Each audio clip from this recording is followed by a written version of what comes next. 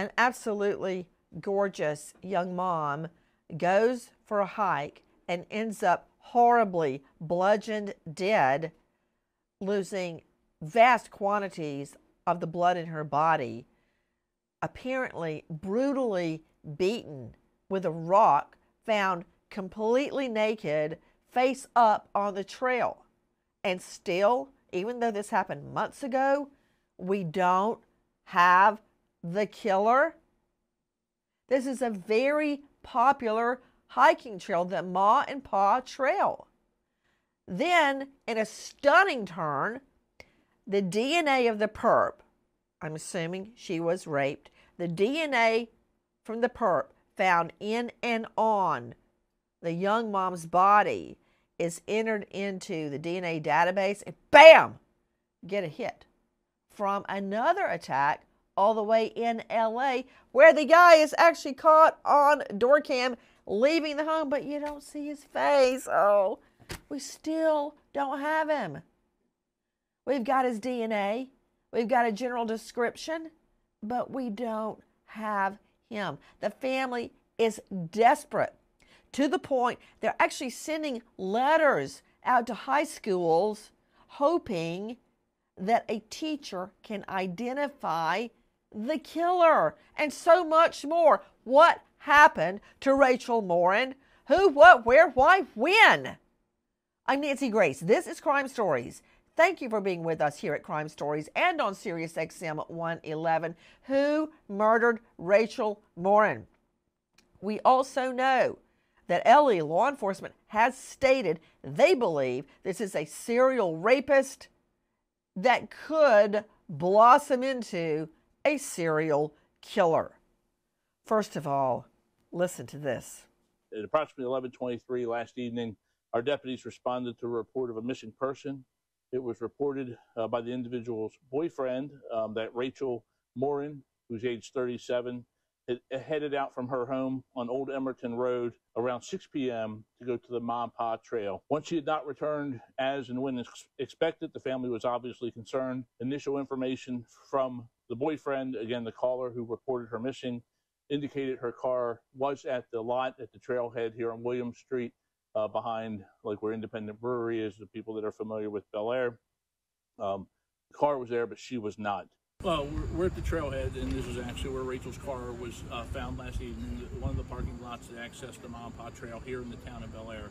Um, and behind me, you see our community policing unit um, with some of their vehicles that, that are able, and they routinely do, patrol different portions of the Ma Pa Trail. Um, but today we are stepping up those efforts through the duration of this investigation.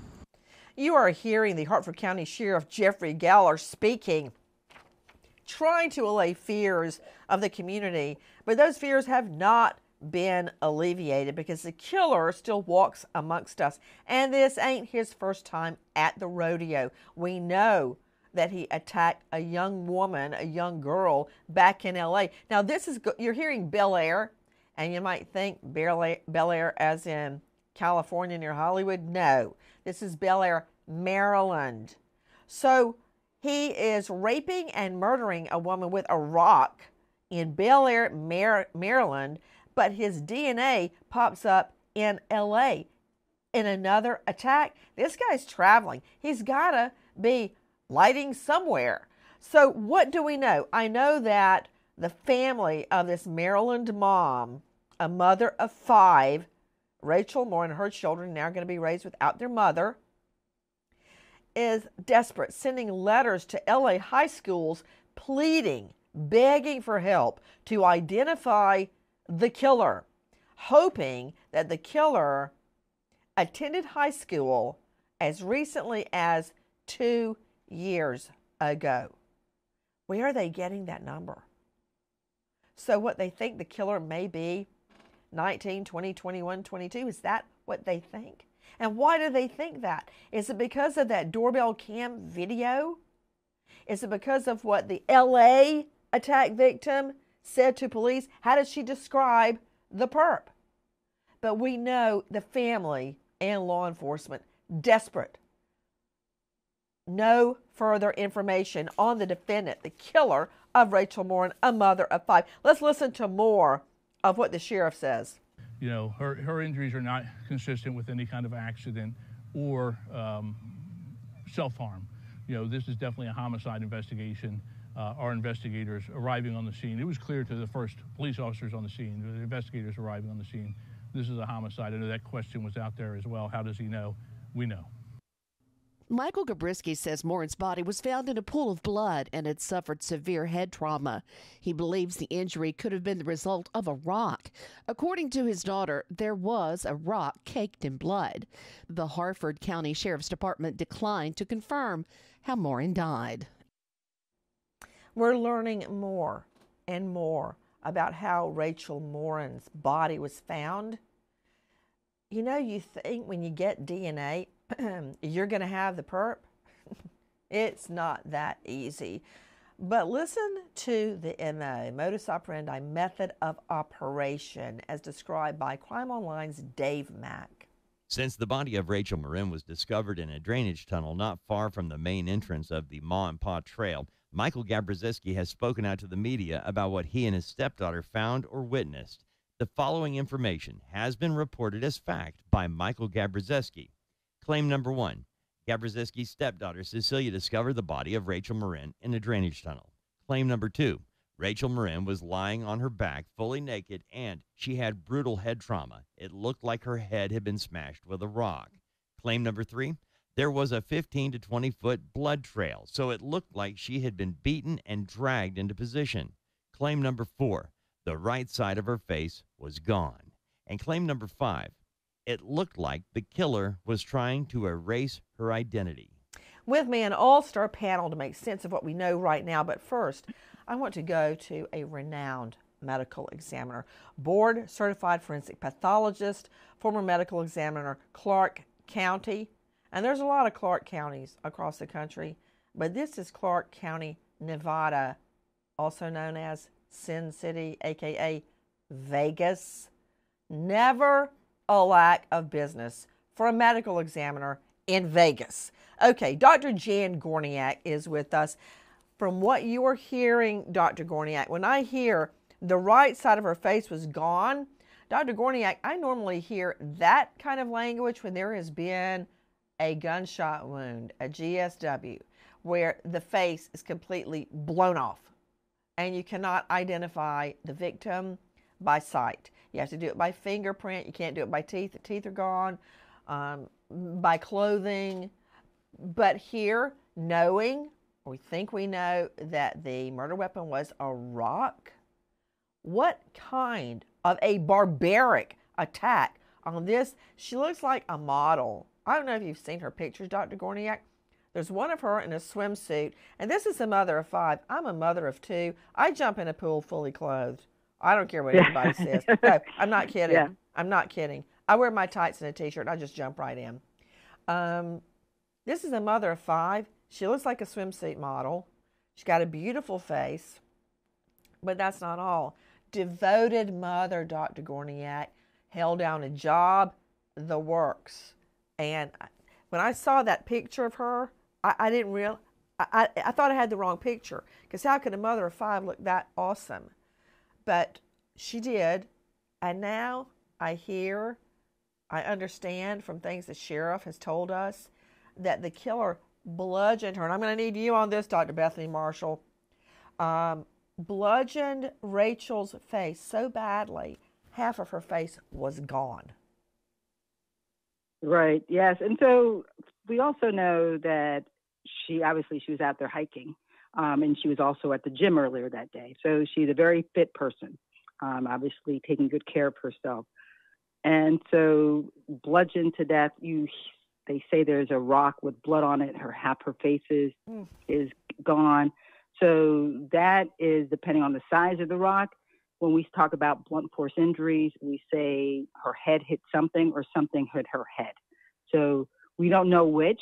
It could be both, but we know she was found face up so there was a possibility that someone used this rock and hit her about the face, whether it was to disfigure her. You know, I'm not I'm not a psychologist um, in any sense, but to disfigure her, to obscure identification, um, and then just the way they left her body. I believe she was naked, also with just you know these massive injuries of of the face. Um, hopefully, you know they got DNA and they she fought back. So whether whether that DNA came from underneath her fingernails or from a sexual assault kit, they were still able to to gather that and also identify her based on that DNA also. Dr. Gorniak, just a personal question. Uh, I, I, could just listen to you talk all day long, and I'm sure you've noticed how sometimes I get carried away and I interrupt people. I, I just learn so much when I listen to you. When you say just go out to dinner or you're, I don't know, at church at the family night supper, I don't know, do people ask you about cases? Are you more comfortable talking about cases like you just did than talking about the weather or politics or anything else? Well, I it's obvious I'm passionate about the the work I, I do, you know, giving a voice to the voiceless and able to tell their stories. But when people ask me about cases like this, um, I usually shy away from it because, you know, like, you know, EMS and, you know, first responders, what these eyes have seen. So I really don't like talking about those cases when people ask because it's really not, you know, these aren't like the best days of my life, yet alone these people's lives. So I try to be very respectful of of what their family has gone through, what this individual has gone through. Um, and it's it's easy to talk to you, you know, when you ask me these questions, and I try to make it not so quote unquote gory for for your listeners, but I don't like talking about these cases unless I have to. You know, that's interesting you say that. Um, Fran Longwell joining me, former deputy state's attorney out of Calvert City, there in Maryland, former assistant state's attorney in Prince George, uh, specializing in sex offenses and homicides. Fran, when people ask me about cases, I have, you know, standard responses because I feel like it's sometimes re victimizing the victim to tell, as Dr. Gorniak said, the gory details of it. But, you know, Fran, I want to tell the story in its entirety it's very hard for people to imagine what happens to a murder victim. They don't want to. It's so horrible. Like when I think about my fiance Keith that was murdered, I know he was shot five times in the face and the neck and the head. But I don't think about, oh, half of his, half of his face may have been blown away. I've never thought that till this minute right now. I imagine him just like I knew him in life with some like maybe little dots on his face where the bullet entered. You know why? Because I don't want to think about it any other way. I don't want to think about what he endured or what he lived through because it will throw me in a funk I can't get out of. But when you think and when you have to show a jury, Fran Longwell, or when you go to the scene, it is nothing like you could anticipate. It's much worse. That, that's very true. And some of the hardest things I ever had to do is meet with the family of the victim. And many, many families want to go over the autopsy report, and many, many families want to see the pictures. And it's very hard. You know, it's hard for me because I don't really want them to have to see that. But if they want to see it, you have no choice. You have to show it to them. And I usually try to have some other victim advocate there with them. But it, it's it's re- you're right. It's it's awful for them to remember what their loved one looked like at that time. The jury has to know, and we have to show those pictures to them to show where the wounds were, where the injuries were, how we know that happened. And a lot of jurors have a lot of problems with that too. Mm-hmm. And it's not that we I, I don't become callous to any of this, but I learned as a prosecutor I have to steel myself when I'm discussing it in front of a jury because I've got to get through the evidence and I have to present it in a way uh, that I don't miss anything or mischaracterize anything. Um, right. Sydney, as we're talking about this, if you could show our viewers, I know a lot of you are listening, but for our viewers on YouTube, I want you to see how beautiful this woman is. And no victim is more important than another victim. But I find this psychologically interesting, and a lot of times I say, I'm no shrink. No, truer words were never spoken. But to Dr. Bethany Marshall, uh, high profile psychoanalyst, you can find her at drbethanymarshall.com. Dr. Bethany, I can't verbalize this, but I, I think you will be able to. I think the killer took a certain delight in disfiguring Rachel Morin.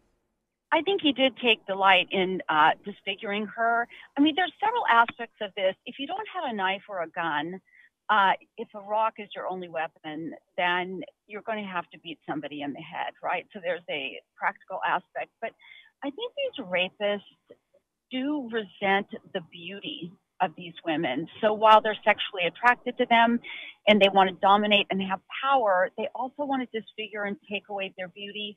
But the, the final layer, Nancy, that you're alluding to is sadism. And sadism, sadism is a part of sexual deviancy. And these guys use the infliction of pain and terrorizing the woman in order to enhance their sexual arousal. And, and the reason they do that is that aggression and sexuality are processed through the same neural nets. Okay, so well, wait, point, wait, what? Neural well, they. I'm not saying that you're making me look ignorant. I'm doing that all on my own. What are you saying?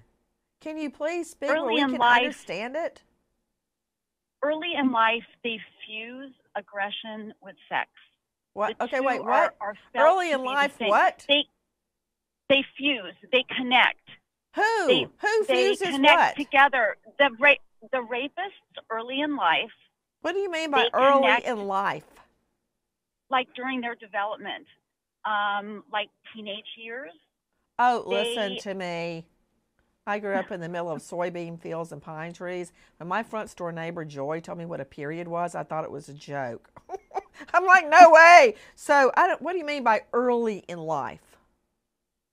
Well, in their early development, let's say latency age, like seven, eight, nine, ten, and then throughout their teenage years, they they feel in their heart, in their soul, in their bones, their cells that aggression and the infliction of pain and cruelty does enhance their sexual arousal. Even as kids, there, there's a sense of inflicting pain makes them excited. That's why they may kill animals or torture animals. Like when they're six, seven, eight, they won't associate it with, with sex. But in when they get into their teenage years, they graduate to feeling that the only way to feel sexually excited is to hurt or maim another person. Hey, That's Dr. Bethany, have you ever treated a sadist? I have actually, and I, it was one of a very interesting experience. It was couples therapy, and I said to the man, "You know, you're being very cruel to your wife." And he said, "I know." And it was a, a lesson in sadism because the pleasure associated with being cruel to her was palpable. And I did wonder what he was doing in other areas of his life in terms of uh, sex, rape, or whatever. I, I Just curious, only did they get a divorce? briefly. Absolutely. Ooh, I They hate to think of that woman stuck with him the rest of her life. Okay, off Well, he was a raging alcoholic, and he he um hid alcohol everywhere in the house, even in the back of the toilet, the toilet tank. So he was a very devious guy. Okay, and enough about your uh, well-heeled rodeo clients. Uh, let me get back to Rachel Morin. But although Dr. Bethany, I could listen to you just like Dr. Gorin, all Dr. Gorniak all day long. Um, it, going into the mind of this killer is kind of scary. When I hear what Dr. Jan Gorniak says, and I couple it with what Dr. Bethany Marshall and Fran Longwell are saying, it's painting a horrible and horrific picture of this guy. And remember, he's walking free. We've got his DNA, but we don't have him. He could be anywhere between Maryland and LA. I guarantee you he's been back to both jurisdictions. So, what more do we know about what happened and what is happening to find this guy? Take a listen to the sheriff. Hi, this is Harford County Sheriff Jeff Gahler. It's been four days since Rachel Morin went missing, and three days since her body was located, the victim of a violent homicide. Currently, there are 10 investigators assigned to our Criminal Investigations Division who have been and will continue to work around the clock on this investigation. These detectives, along with forensic investigators and crime analysts, have been scouring every detail of the days, hours, minutes, and seconds before Rachel died in order to put together the pieces of a comprehensive timeline. And more. have continued to get centers around whether we have interviewed the boyfriend in this case. The answer is yes, we have, along with many other people who are close to Rachel. That is the way an investigation is conducted. We start with people who are in her close inner circle and others who have made known her or she have encountered and work outward. Please be safe to take care of each other. Watch out for each other. Together, we will solve this crime and find the heinous coward who took Rachel Morin from her family and friends. Okay, what I learned from all of that talking is that the boyfriend has essentially been ruled out. That's what I'm hearing. And the DNA confirmed that. Joining me, in addition to Ron Bateman, a former homicide and undercover narcotics agent, Vincent Hill is with us, anchor reporter, Fox 45 in Baltimore. Vincent, this happened back in August, the beginning of August, September, November, December, January. You know, when you've got somebody's DNA, you'd think you could catch the killer, right? Yeah, Nancy, that's exactly right. But unfortunately, you know, I just checked the temperature. It's 22 degrees here in Maryland, and that just tells you how cold this case is.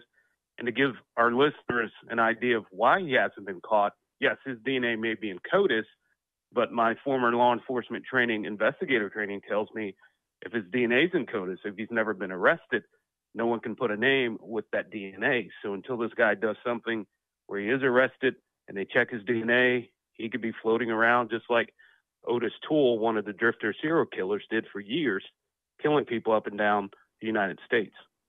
That's a really good point, Vincent Hill. Joining me right now, a former sheriff that has gone to the scene where Rachel Morin was raped and murdered and has evaluated it in intense detail. With me, Ron Bateman, as I said, former homicide undercover narcotics agent.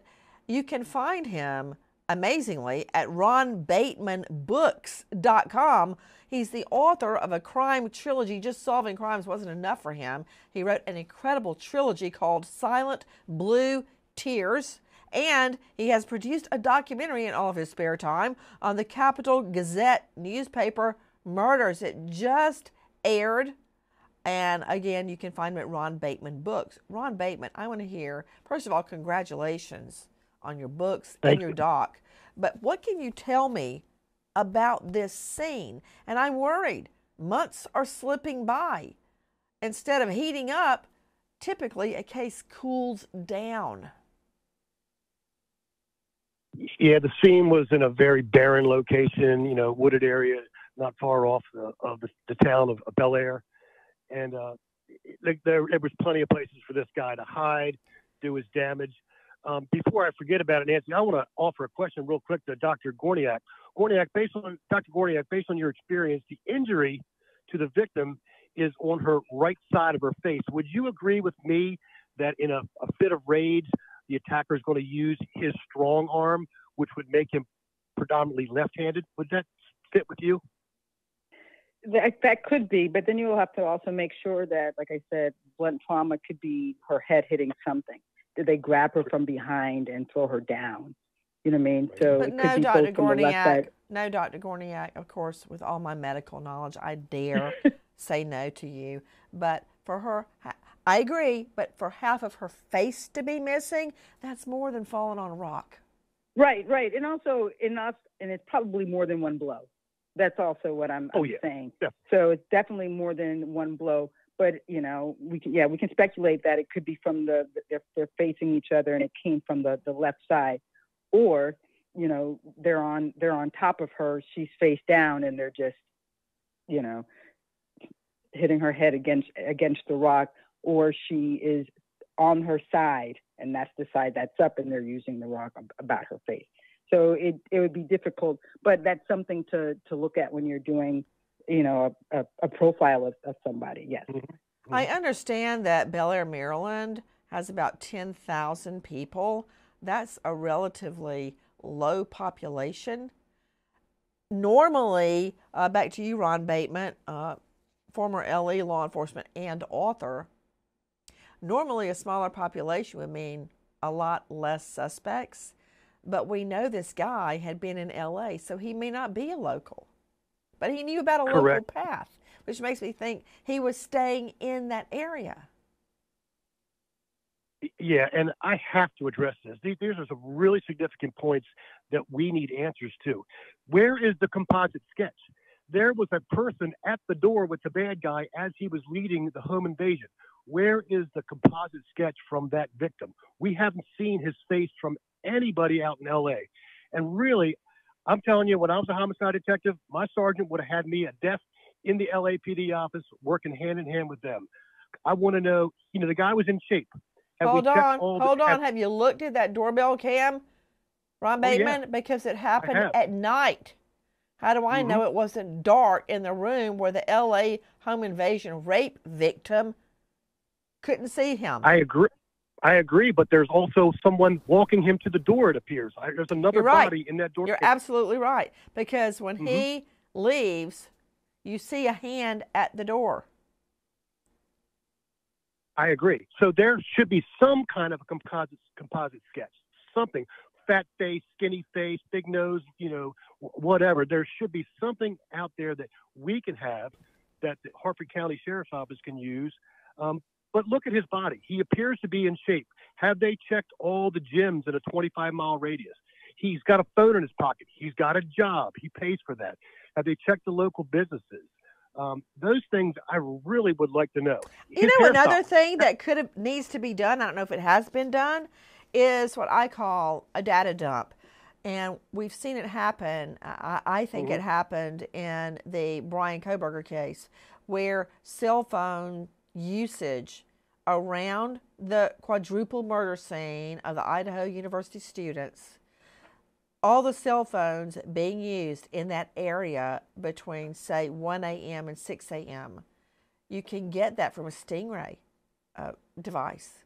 All the mm-hmm. cell phones, and then you start, and it's a task, but you can do it. And on this trail, was his cell phone with him?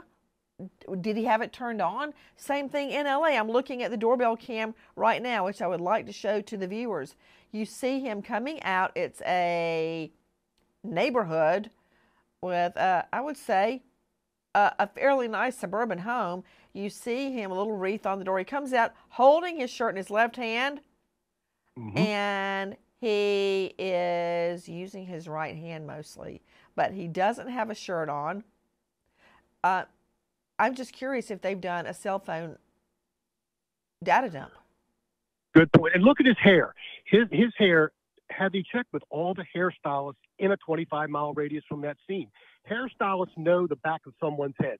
They cut their hair all the time, and that would be a basic thing, but that they have to do, and we just don't know what they've done out there in LA because the answer lies out there. I believe would really help us. Guys, we're trying to get to the bottom of who murdered Rachel Morin.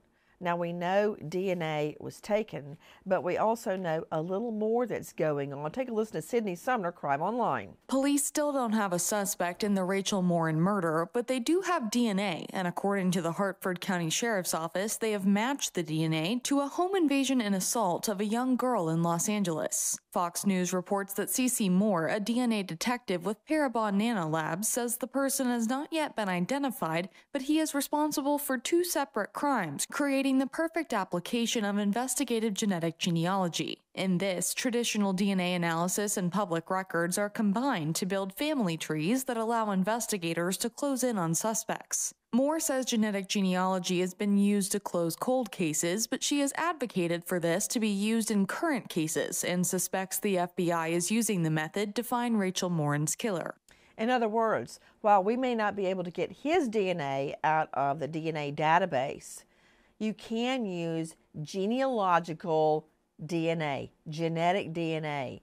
You plug it into public genealogy websites. You know those people that trace their family tree back to the Mayflower? Uh, them.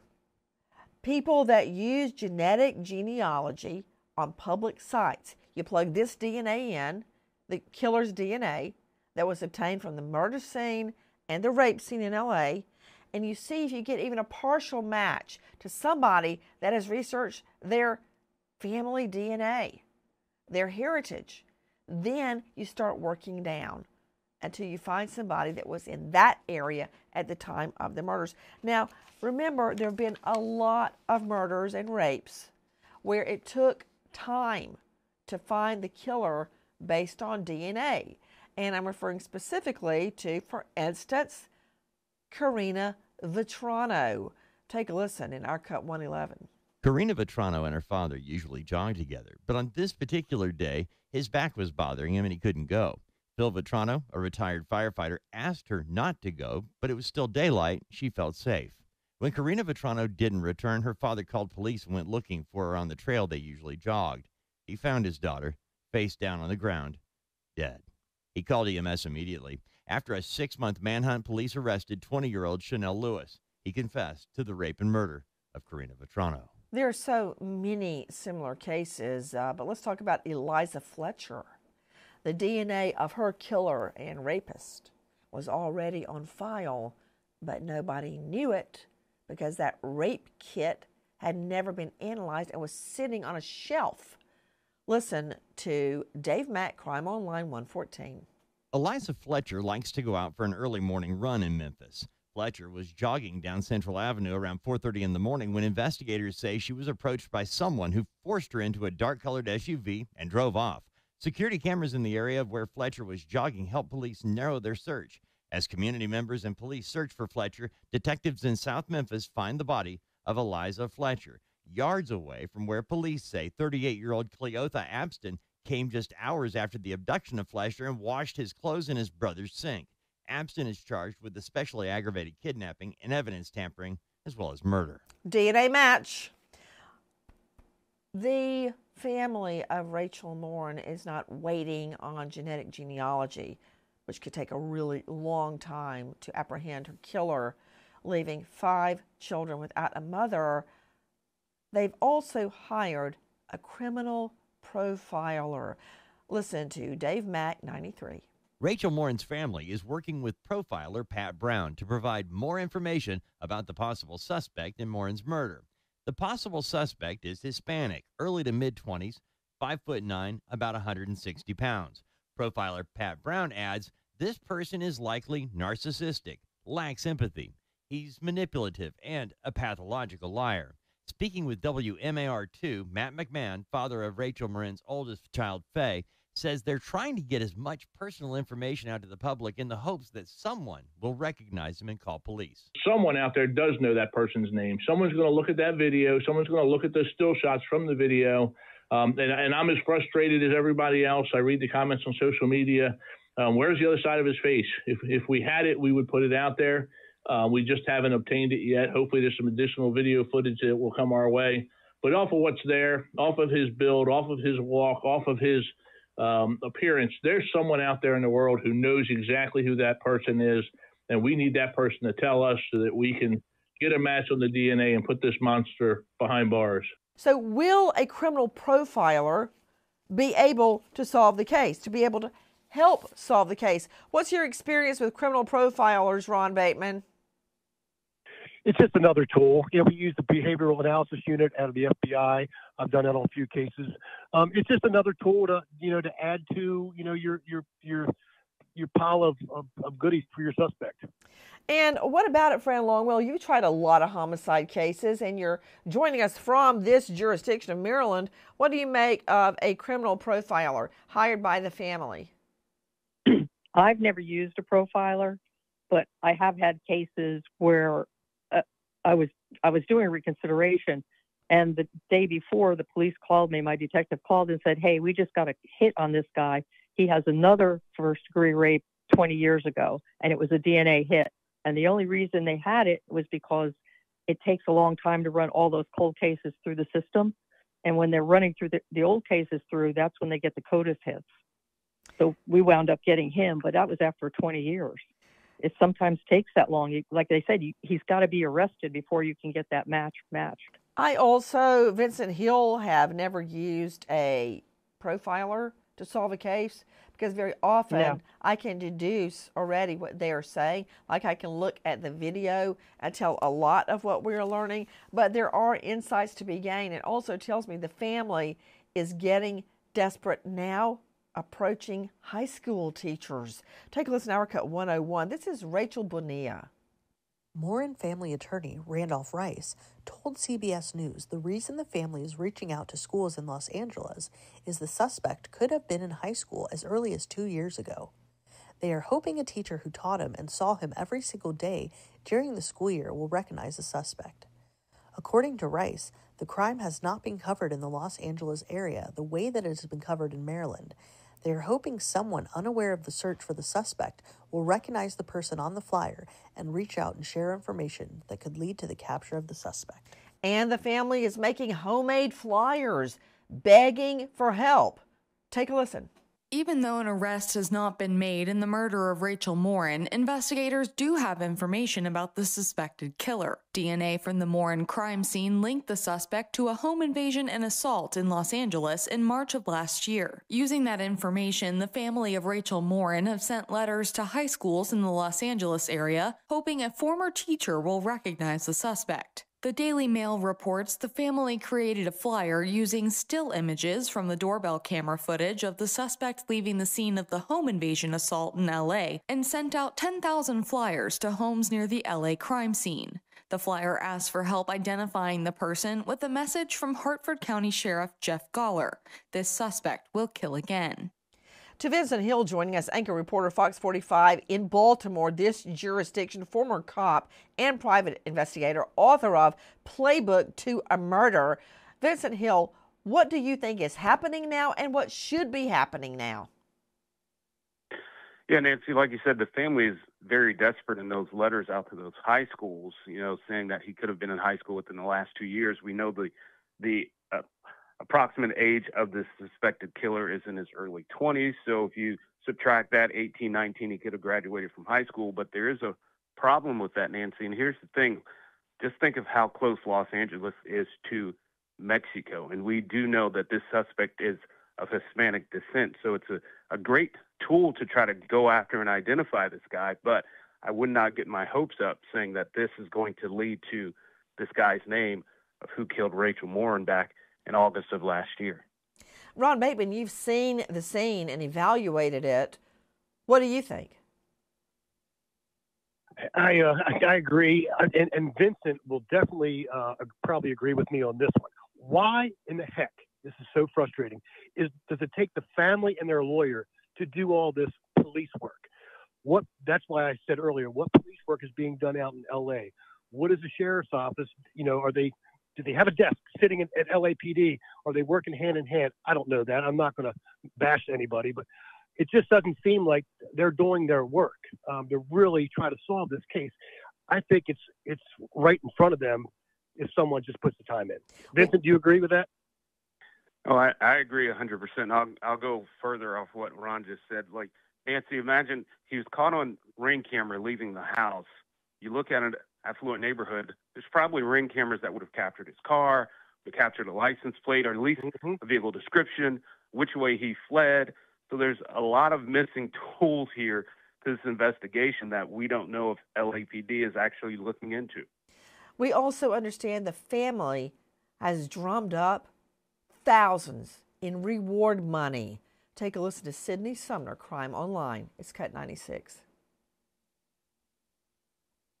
The law firm representing the Morin family, Rice, Murtha, and Psoras, has announced that after the law firm doubled the reward to $20,000 for information leading to the capture and conviction of Rachel Morin's killer, an anonymous woman from Bel Air, Maryland has contributed $10,000, bringing the total reward to $30,000 based on the DNA found at Rachel Morin's crime scene being matched to a home invasion assault in Los Angeles that provided a video of a possible suspect. Investigators believe the suspect is about 5 feet 9 inches tall, around 160 pounds, in his early to mid 20s, and of Hispanic descent. The reward now up to $30,000 for info leading to the arrest of Rachel Morin's killer.